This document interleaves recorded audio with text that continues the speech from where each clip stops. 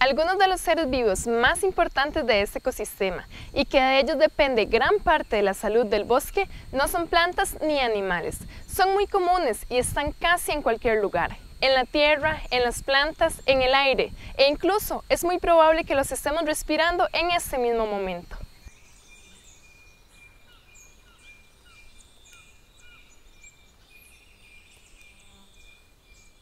Los hongos pertenecen a su propio reino y como mencionamos antes, no son plantas ni animales.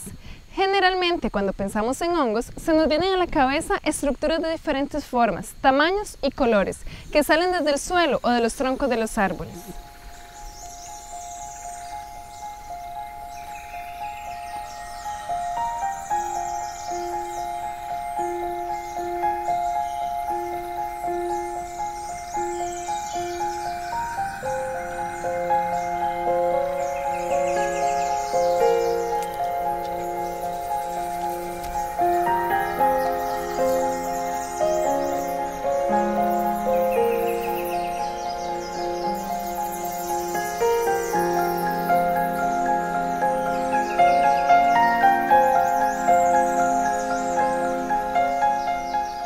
Pero lo que vemos son solo las estructuras reproductivas del hongo. En algunas especies, estas pueden permanecer por mucho tiempo. Pero en la mayoría de los hongos, las estructuras reproductivas existen solo por un corto tiempo y se marchitan rápidamente.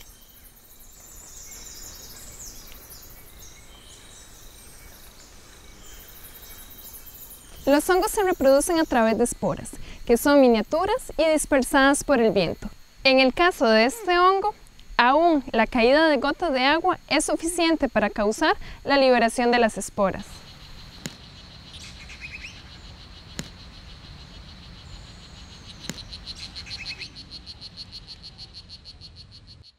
Sin embargo, la mayor parte del hongo está generalmente fuera de nuestra vista, creciendo dentro de la tierra u otra materia viva.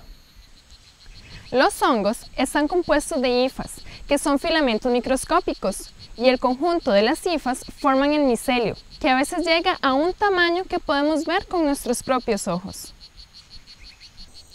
Se estima que en un gramo de tierra del bosque lluvioso hay alrededor de 100 metros de hifas de hongos micorrizas. También la estructura reproductiva está compuesta por un conjunto de hifas y al extremo de estas están las estructuras que producen las esporas. La importancia de los hongos en este bosque es enorme, mayormente en dos temas principales. La primera es el reciclaje de nutrientes. Si vemos este árbol caído, aunque no parezca, está lleno de hongos en su interior, que facilitan y aceleran su reciclaje para materia orgánica, de la cual otros organismos se pueden alimentar.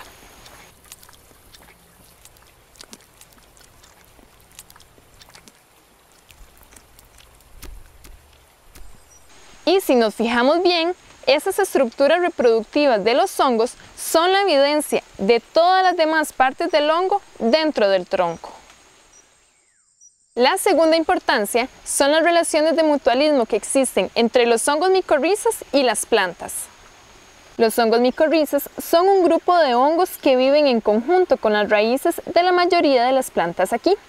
El hongo da nutrientes y minerales para la planta y recibe a cambio azúcares y otros productos de la fotosíntesis de la planta.